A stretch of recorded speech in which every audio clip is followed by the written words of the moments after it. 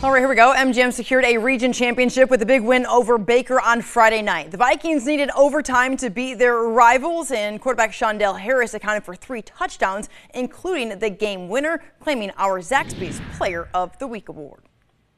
We're here at MGM to honor our Zaxby's Player of the Week. It's the Vikings quarterback, Shondell Harris. Shondell, congratulations on a huge win and performance last week against Baker. Thank you. Guys? When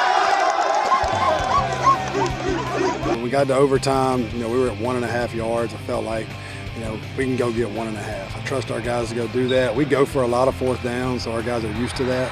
And uh, you know, the moment was right, and you know, it was it worked that time, so it was a good call. During the timeout, me and Devin was talking, and me was Devin was going back and forth what we should do, and I was like, well, let's go for it. And then Coach Gustin said, let's just go for it, and he said, let's ride, and that's what we did. Before I snapped, it just I don't even know. It was just wow. We were just trying to score, so it was just just regular thing.